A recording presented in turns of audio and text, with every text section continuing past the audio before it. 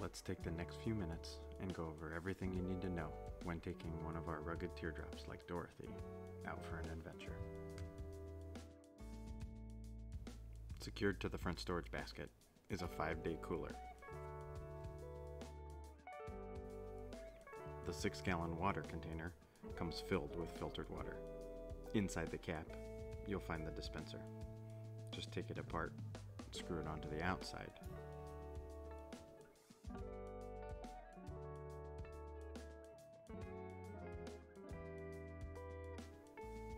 Tighten the cap back on and give the nozzle a little twist to make sure it's pointed the right direction. The container can be unstrapped, placed anywhere you like for dispensing.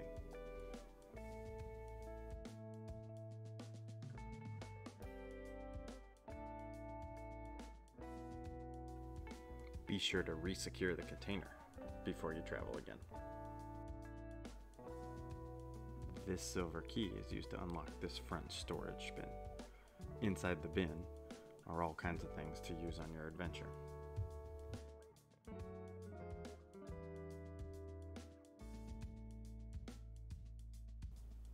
First of which would be the 30 amp shoreline cord for using to plug in the trailer should you be at a campground with full hookups. Also in there is an adapter from the 30 amp plug to a regular 15 amp plug.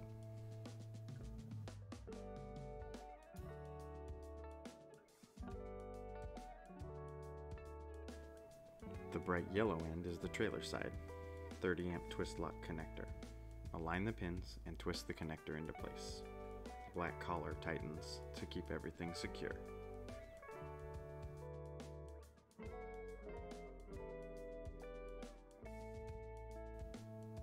A number of leveling blocks are provided for use when leveling the trailer side to side. Should you only be using one, place it behind or in front of the tire. Pull the trailer up into place. Should you need to use multiple, make yourself a little ramp. They all stick together.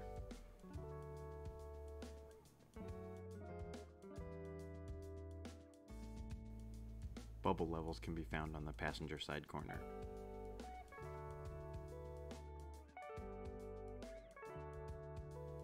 In addition to the large black rubber wheel chocks, a second set of folding wheel chocks are inside this bin, should you need to use them.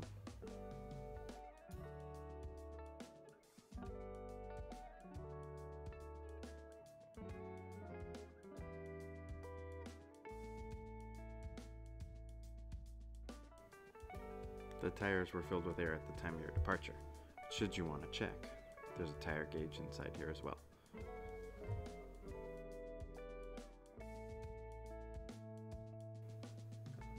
Planning on separating the trailer from the tow vehicle, we ask that you use this additional hitch lock. Keys provided on the ring that was given to you.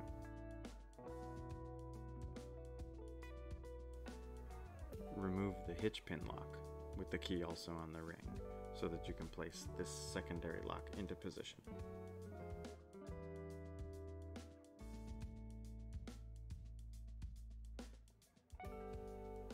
Attach the yellow portion just as you would if you were attaching the trailer to your tow vehicle. Ratchet the U-bolt into place. Now everything's secure. Be sure to replace the hitch pin lock also for added security and so it doesn't go missing. A rubber mallet is provided in this container as well. Also, this bag contains the stakes for the rooftop tent, should you be using it. The mallet can be used to drive the stakes, but also has a hook to help you pull them out.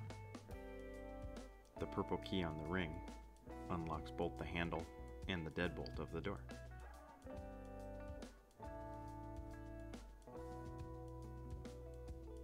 There's a catch attached to the body to hold the door open so that it doesn't swing and hit anything.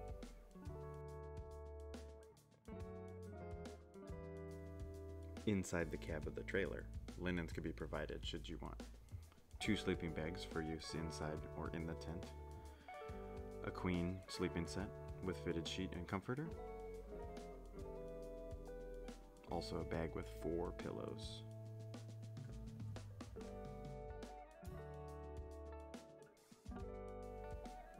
The mattress inside the cab is folded in half for travel.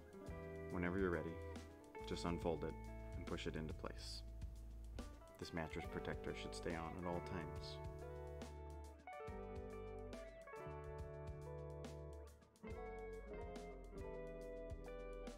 Inside these upper cabinets, you'll find a throw blanket, a small first aid kit, a waterproof Bluetooth speaker, which will be charged when you pick up. Also, in this box is a set of charging cords for all the rechargeable items in the trailer.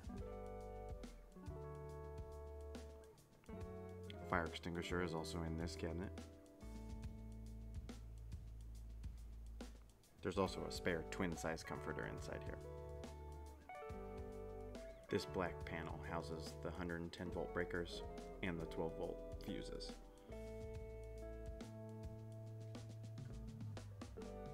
There's only the four. These others are intentionally left open. Should there be a problem, you'll see a red light next to the blown fuse. The ceiling is equipped with a vented fan, which is somewhat blocked by the rooftop tent. It'll open most of the way and you'll feel it get tough. The push button is how you operate this fan. The interior of the trailer also has LED lighting, as well as small reading lights.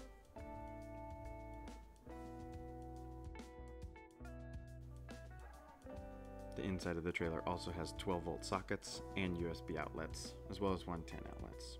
It's important to note that without being plugged into a shoreline power, the 110 outlets of the trailer will not operate. The blackout curtains are held up by Velcro and can be rolled down on either side.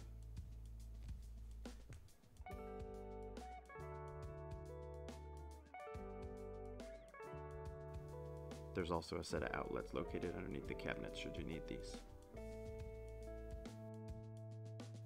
In the cabinet you should also find a small solar panel which is used for trickle charging the battery. There's a pigtail connection hanging from the battery box which it can be connected to.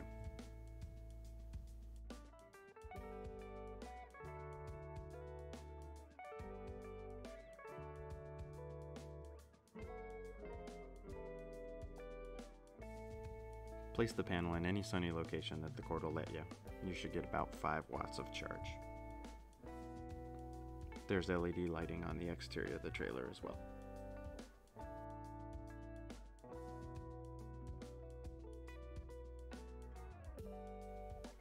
The gray key on the ring unlocks the rear storage compartment.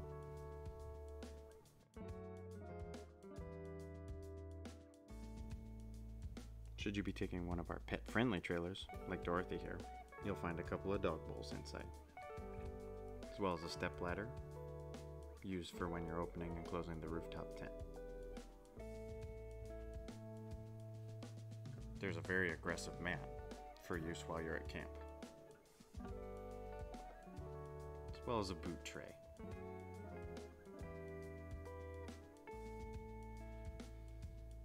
Coleman propane two burner stove is also provided for you.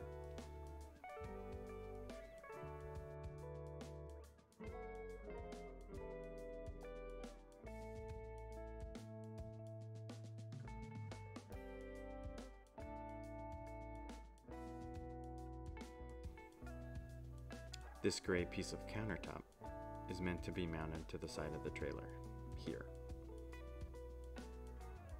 This silver channel, the holes align. You can use the pin to lock it in place. There's also an extra support which can be raised here. Just be careful because it's a finger pincher. Release the lever when you're going to lower and remove the countertop. This is the most likely time that it pinches.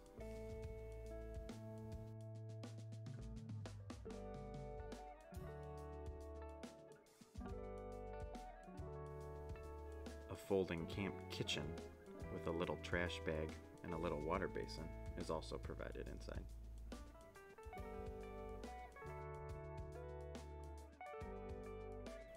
This tan bag contains the window poles for the rooftop tent. This large bag has the annex for the rooftop tent, and the boot storage bag.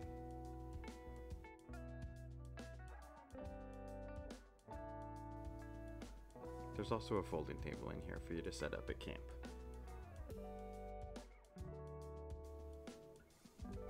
The first of the three storage bins is left empty on purpose for you to pack any kind of items you'd like.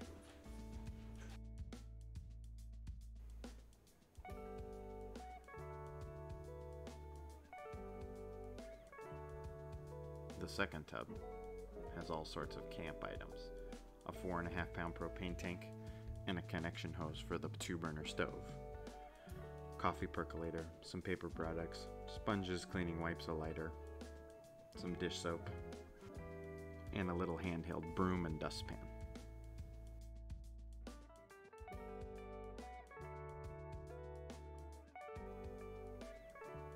The third bin is full of all sorts of kitchen items.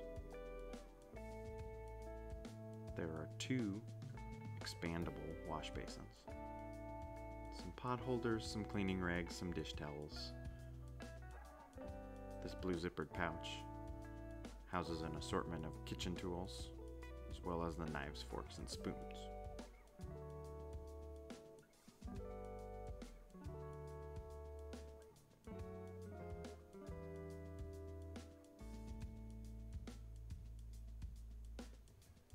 There's a set of four plates, bowls, and coffee mugs.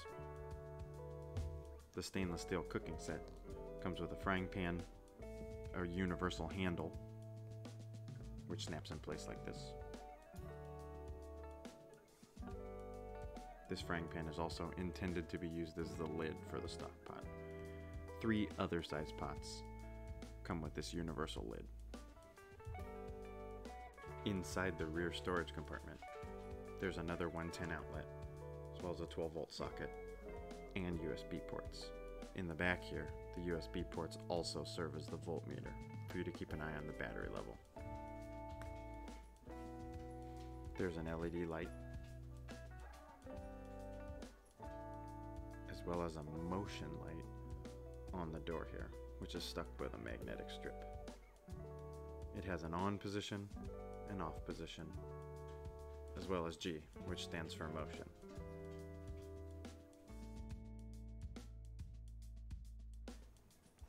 Coming up, I'm going to show you how to open and use the rooftop tent. The three critical items you need will be the step stool, the large bag with the annex and boot bag inside, and the tan bag with the window poles.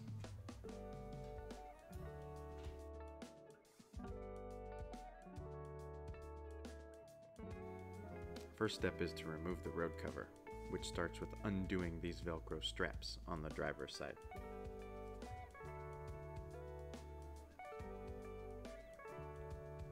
Pull the now free straps off the passenger side and just lay them on top or let them dangle.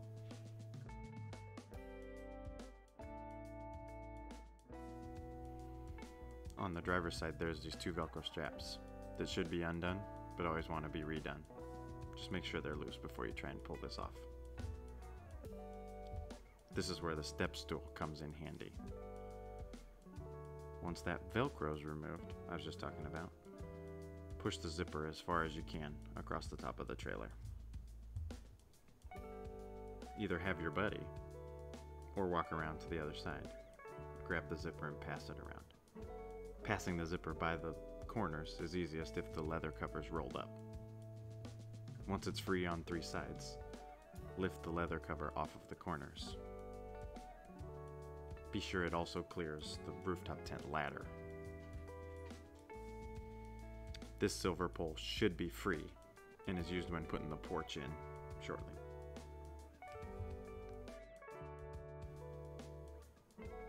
The top of the tire can also be used to get up there and grab what you need. Once the road cover is completely free, it can be rolled up and secured with the straps on the back of the tent.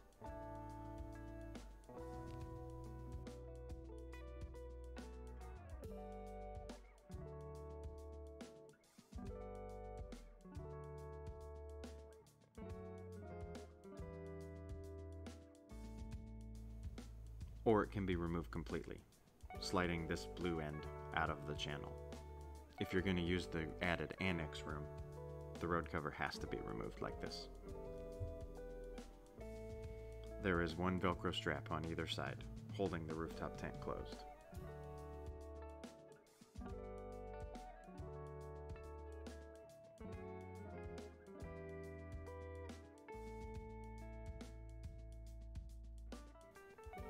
Slide the ladder into its open and locked position. You'll hear a click when it gets to the end. When the ladder's locked, first pull down to get the tent partway open, then use the ladder to lower the tent into position.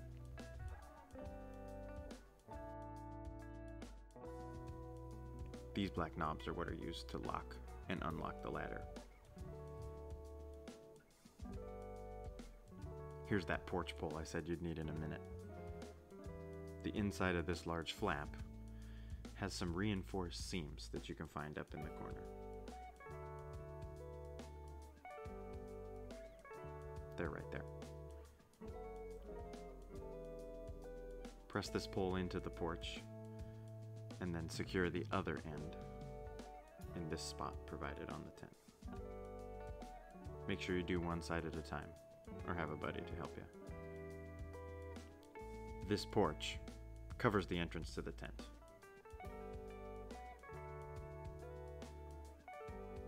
It has two guy wires, which can help hold it in place once you're at camp.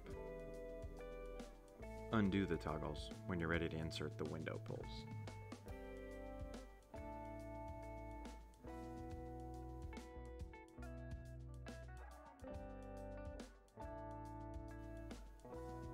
Straight end of the window pole is inserted through the canvas of the tent through these access spots, into the hole drilled in the frame. Place the hooked end through the eyelet of the window covering and give the window pole a little bend to secure it in place. They're intended to bend so that they keep the window cover secure.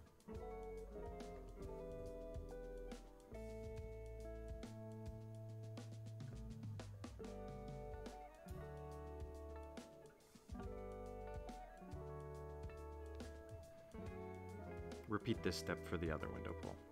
Should you be planning on using the optional annex room, wait to do this other side of window pole, as it's in the way when you're trying to zip the annex on.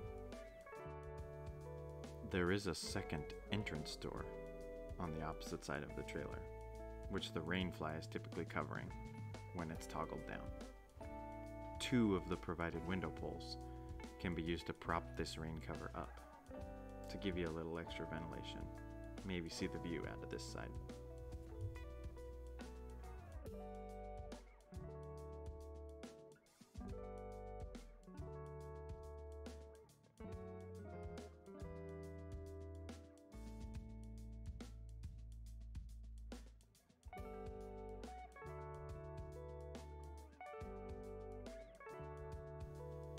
Just like with the window coverings, there's an access port through the tent so you can get the tent pole into the frame. These also need a little bend to hold it in place. The boot bag can be hung in the channel near the entrance to the tent. That way you have somewhere to store your boots. You don't have to climb the ladder with bare feet. There are multiple attachment points for a lantern or anything else you should need to hang from the tent.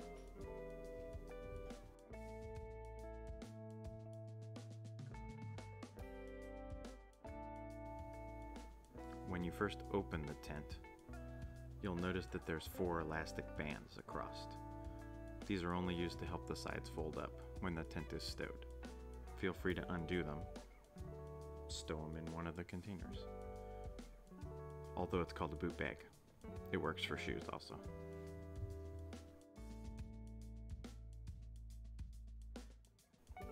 There are two black straps attached to the frame of the tent with loops near the door. These are intended to help you climb in should you need something to hold on to.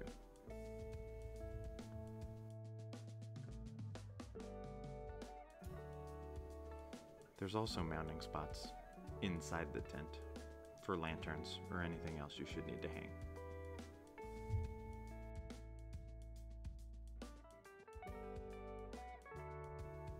Both side windows, as well as the roof vents, open up to screens.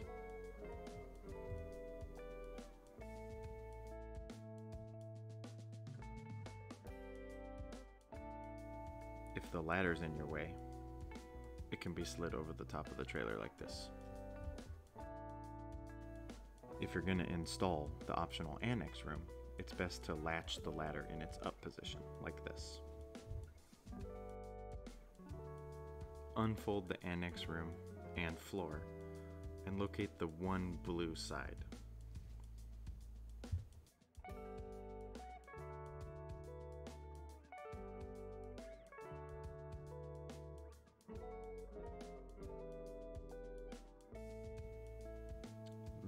Sewn into this blue side is inserted into this channel on the tent, the one where you remove the road cover from. It tends to snag a little here on the corner, potentially on the roof rack bars. Should you need to separate the tent a tiny bit, you can do so. It's also extremely helpful to have a second person pull the tension off of it while you slide it through the channel.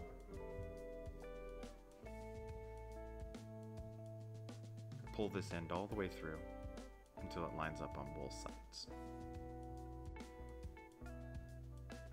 The other three sides of the annex room are zippered into place. The zipper itself stays on the tent.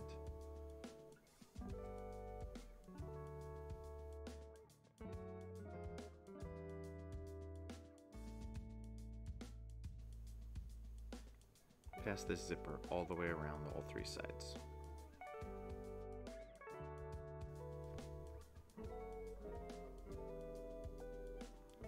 I said that window pole would be in the way of the zipper? Apparently I forgot, but it worked out because I could show you. Make sure this is removed.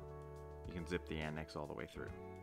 There's an access in the annex room as well.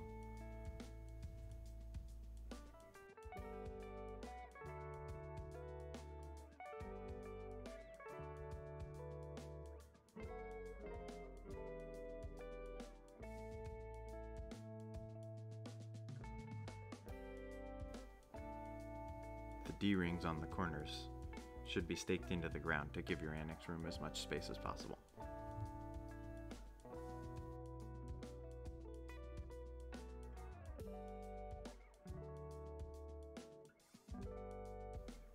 There is still some access through this door into the trailer.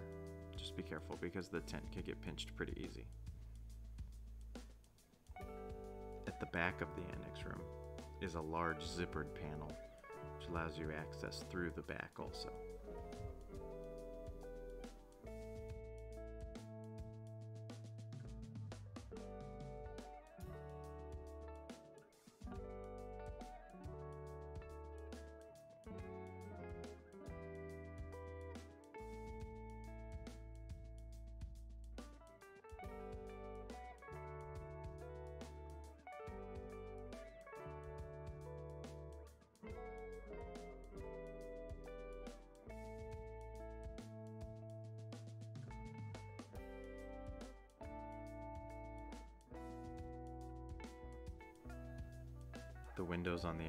As well as the door, also have screens.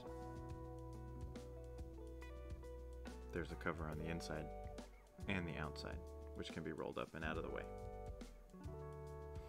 When removing the window poles, remember I said they need a little bend.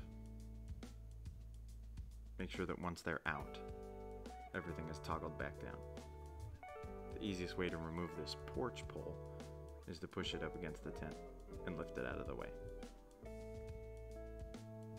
Once you've replaced the elastic inside, you're ready to fold the tent. Ensure the ladder's locked and push it up to about 90 degrees. Then use the ladder to fold it into position. Once all the odds and ends are tucked in, the porch pole can be placed on top, and then the porch itself also.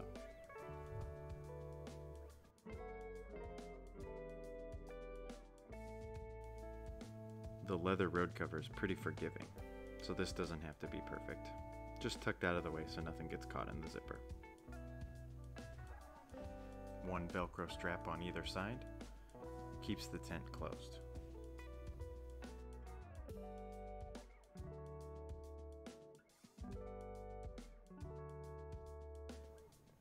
If you removed the road cover completely, or used the annex, slide it back in using the blue ribbed portion right now. Again, this is easier if there's two of you.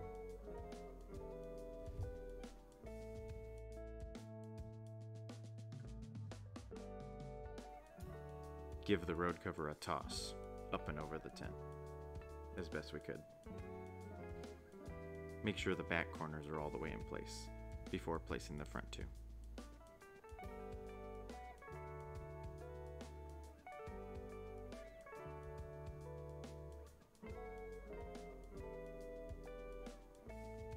Cover down over both corners.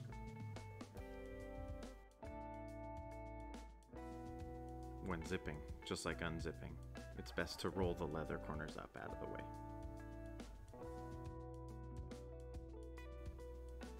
Once it's all zipped up, toss the two straps back over, secure them with the Velcro on the driver's side of the tent.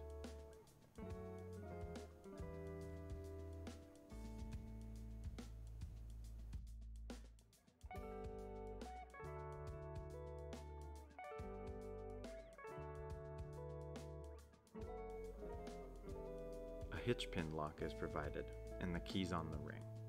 This is the only hitch pin that is provided, so make sure anytime the vehicle is attached to the trailer, this pin is in place.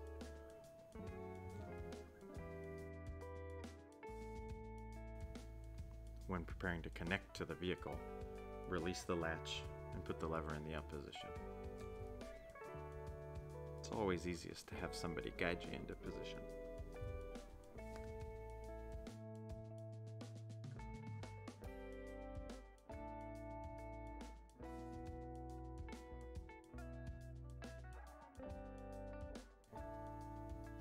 Things are all lined up, you're ready to lower the trailer. The crank on the jack is how you raise and lower. This video is sped up for you. I'm not actually that fast. Once the weight of the trailer is on the tow vehicle, you can lower the latch. Continue to raise the jack all the way off the ground.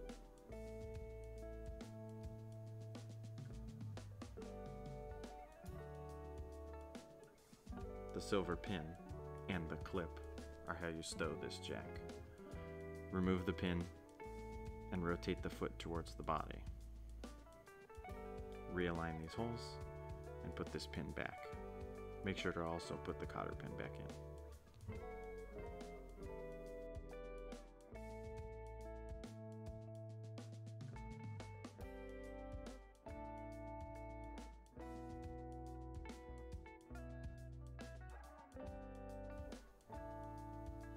Two safety chains can be attached to the hitch in either manner which you like. One on either side, crisscrossed. The breakaway brake cable should be attached to the hitch, separate from the chains. All our trailers have a 7 pin RV style connection for the lights. Make sure that it's seated in the plug and the cap is holding it in place.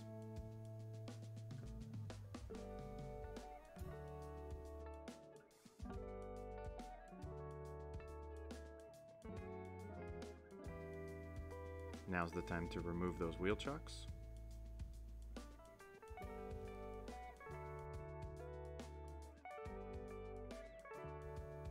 And now you're ready to go.